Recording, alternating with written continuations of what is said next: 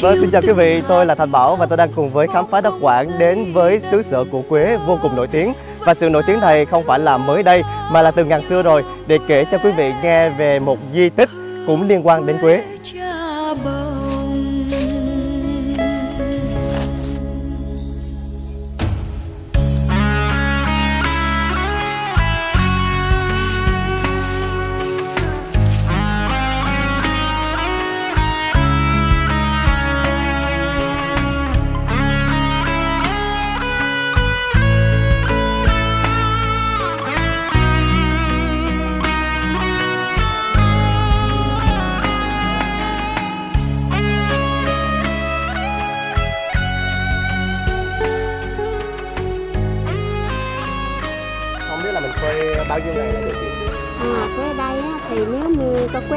To như thế này.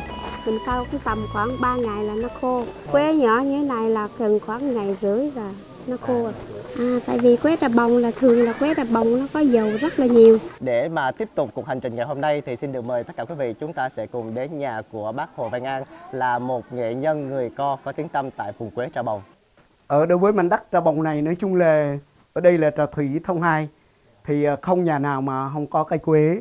Đến mùa lục quế là vụ tiên thì nói chung là nhà nào cũng ờ, đi lục quế.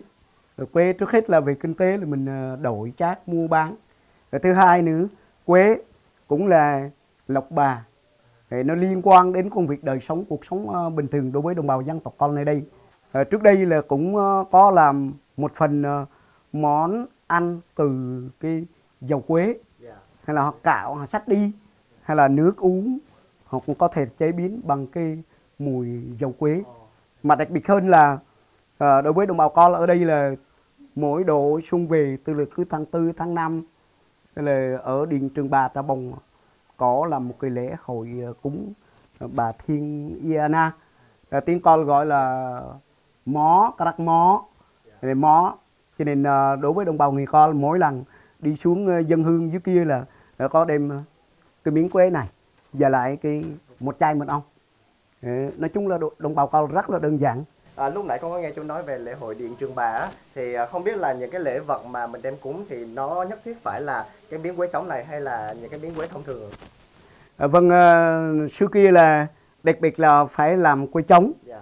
mà đặc biệt hơn nữa cái lễ là cái chung như là ở đình họ tổ chức lễ yeah. Dạ. còn mình người tới thăm là mình mang đây là gọi là cái vật yeah. Dạ. vật là quà yeah. Dạ. Nếu trường hợp mình không có quế này thì mình cũng để phơi như thế này đây. Đây cũng là quế đây.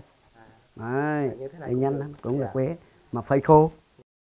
Vâng kính thưa quý vị, những lễ vật không thể thiếu như miếng quế này à, đã dẫn dắt chúng ta đến với câu chuyện về một điện thờ và nhân vật bà. À, không chỉ được người dân nơi đây rất là tôn kính mà còn thu hút rất nhiều sự quan tâm của những người dân đến từ khắp các tỉnh thành về đây nhân ngày lễ hội.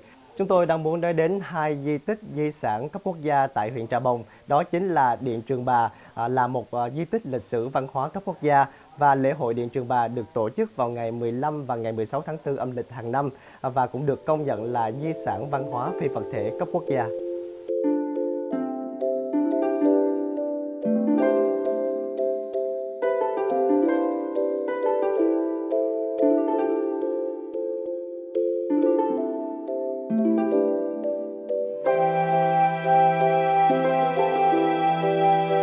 Kính thưa quý vị, đây chính là Điện Trường Bà, ngôi điện thờ nằm ở thị trấn Trà Xuân của huyện Trà Bồng, tỉnh Quảng Ngãi, hướng mặt diện ra trục đường chính. Và khi đi từ cổng vào thì quý vị sẽ thấy ngay một cây đa lá lệch và được ghi nhận là cây di sản Việt Nam.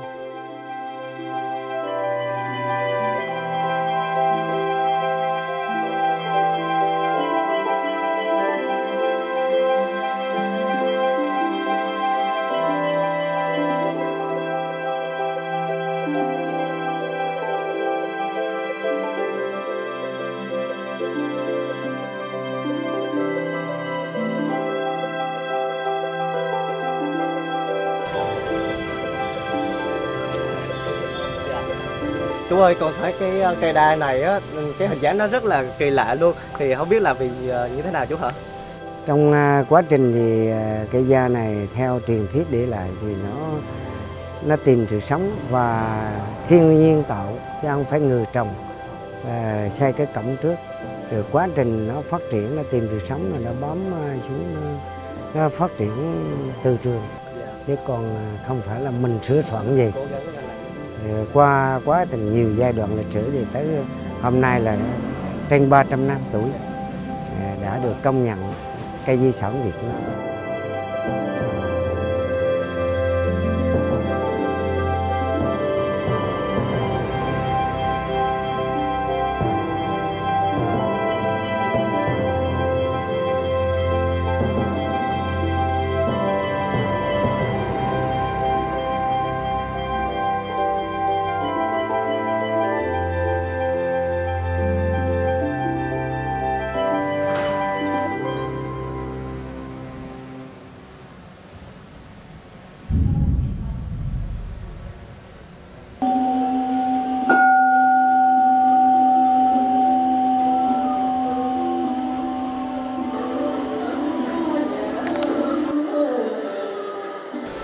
Vị, vừa rồi thì tôi đã xin phép để vào bên trong thắp hương à, vì hôm nay là ngày thường. À, nhưng mà chú ơi, ở trước khi mà đến đây thì con có nghe nói là à, vào những cái ngày mà mình diễn ra lễ chính của lễ hội Điện Trường Bà thì à, đàn bà con gái sẽ không được vào đây.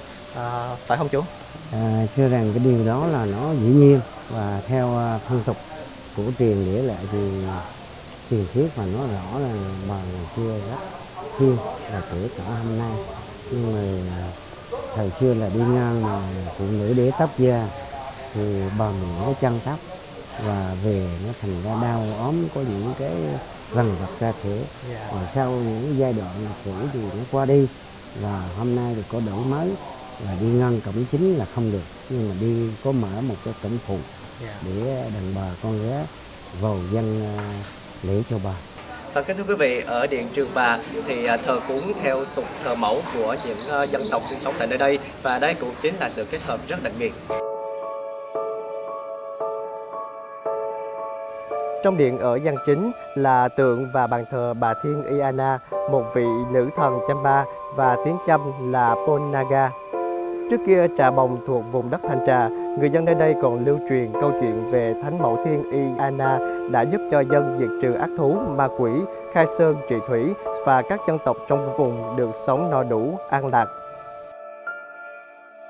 Thờ Thánh Mẫu Thiên Y Anna của người Chăm lại không đối lập với mẹ bếp, một nữ thần được tôn kính trong tín ngưỡng đa thần giáo của người Co.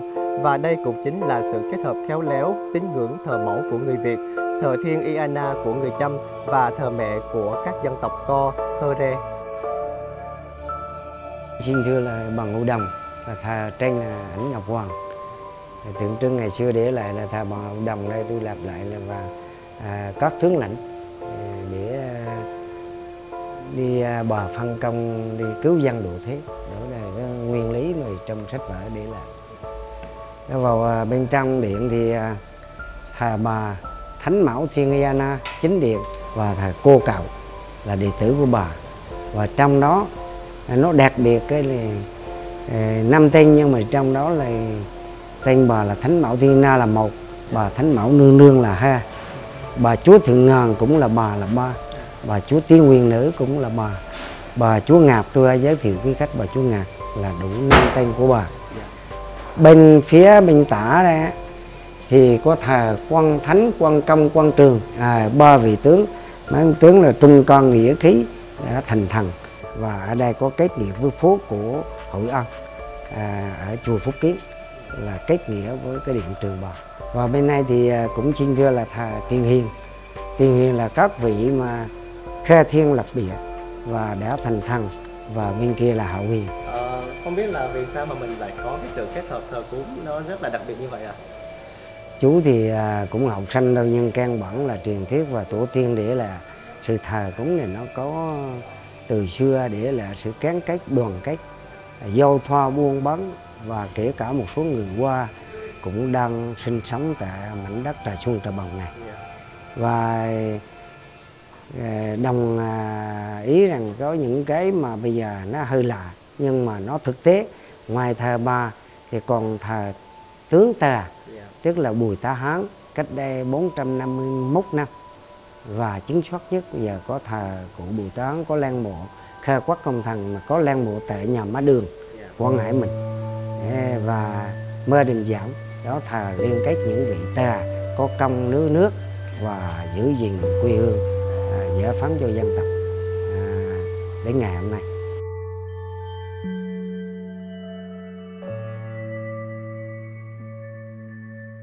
Dạ, từ thờ nhà Bạch Hổ này thì có ý nghĩa như thế nào thưa chú? cái này à, nó đúng là ngày xưa khai thiên lập địa. Thì những ngày lễ xuân về xuân thu nhị lễ thì bà là lúc bây giờ chưa có cả. Và chưa có người đã là để làm cả mà đứng với danh nghĩa là cả làm thì người là xuất hiện và nằm tại sân điện này. Nha, xong lễ ba ngày ba đêm rồi thì nghề mới đi dẹp những cọp rèn hung dữ xuống bắt heo bắt ngư và đi từ trường lũy à, cái trường lũy nó kéo về. Bây giờ cái lũy nó nó vẫn còn và đã công nhận di tích quốc gia thì lũy thành đó nó tới bình định. À, thế là cái đó là công việc của nghề. Và sau khi quan phủ ở huyện nhà mới trình lên ở nhà vua. Thời Nguyễn mới về công nhận nghe là bạch hổ đệ tướng quân chi thần. Ông có công giữ ờ, gìn cho nhân dân à, bình yên trong cuộc sống.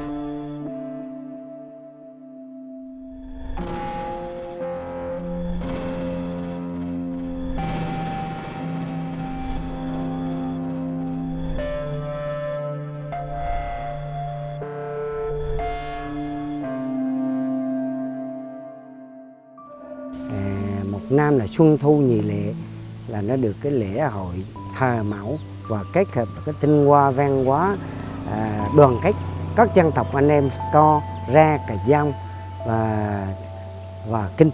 Kể cả cái đoàn kết mà giao thoa buôn bán à, từ người Việt và những à, người Việt gốc Hoa. Và họ ở đây từng sinh sống quế trầu cao. Đó là một cái điều nó quyền diệu và nó có từ thở trước đến giờ. Ngày 15 tháng 4 âm lịch và ngày 16 là ngày vía bà thì nó thường nam à, là một ngày bà con mọi miền kéo về đây và để thành kính, tỏ lòng thành kính và để à, ghi ơn công đức của bà và để bà ban bố phước lành.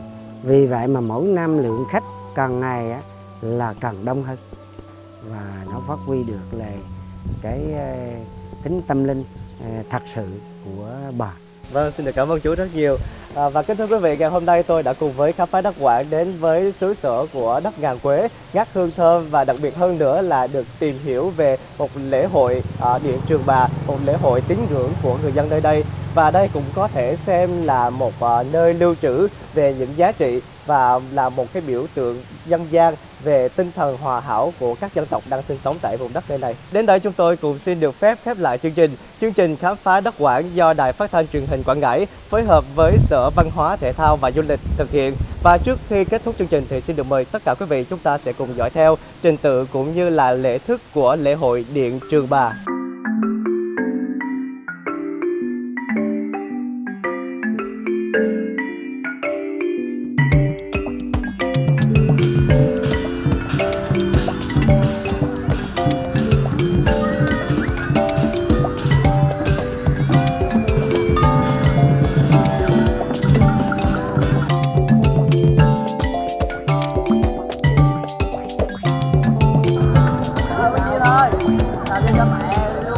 Paulo, não, Mundo.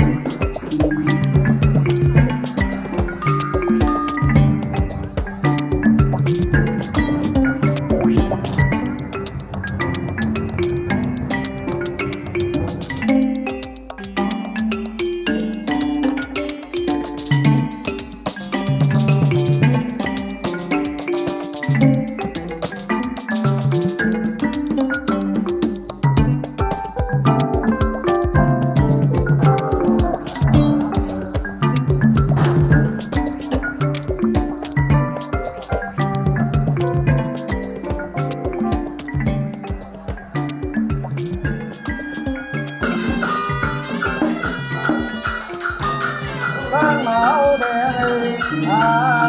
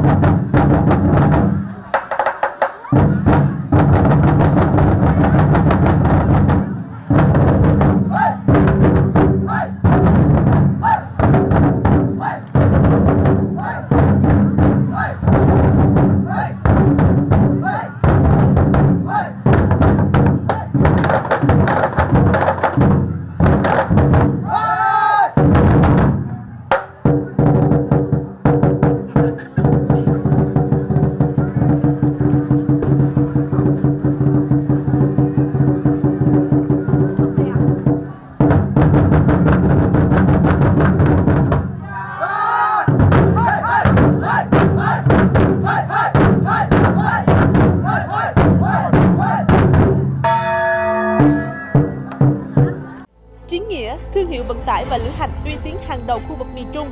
Hơn 30 năm hoạt động, hãng xe Chính Nghĩa đã có mặt ở khắp mọi miền Tổ quốc. Chính Nghĩa sở hữu nhiều chủng loại xe hiện đại, luôn sẵn sàng phục vụ hành khách các tuyến đường dài, dịch vụ cho thuê xe và phục vụ các tour du lịch tham quan nghỉ mát trong cả nước. Dịch vụ chuyển phát nhanh Chính Nghĩa với chi phí rẻ, thời gian vận chuyển nhanh nhất. Trạm dừng chân Chính Nghĩa tại Phú Mỹ, Bình Định và Xuân Lộc, Đồng Nai là điểm nghỉ ngơi thư giãn cho hành khách và các tour du lịch xuyên Việt. Chiến Nghĩa đồng hành cùng biển đảo với đội tàu khách siêu tốc Chiến Nghĩa Express. Đội tàu hiện đại rút ngắn thời gian ra đảo Lý Sơn còn 30 phút. Tàu khách siêu tốc Chiến Nghĩa là sự lựa chọn của du khách trong và ngoài nước khám phá vẻ đẹp đảo Lý Sơn. Chiến Nghĩa, an toàn, tiện lợi, tất cả vì khách hàng. Từ ngày 18 tháng 3 năm 2019 đến ngày 12 tháng 5 năm 2019, Vietcombank triển khai chương trình khuyến mãi thanh toán ngay quà thật hay cho khách hàng cá nhân, thực hiện thành công các giao dịch đăng ký ủy quyền, trích nợ tự động tiền điện, nước, đặt vé tàu xe, kích hoạt thành công một trong các dịch vụ ngân hàng điện tử của Vietcombank như VCB iBanking, VCB Mobile Banking, VCB Pay và VCB SMS Banking. Tổng số lượng giải thưởng 13.300 giải thưởng. Tổng tiền của các giải thưởng 1 tỷ 260 triệu đồng.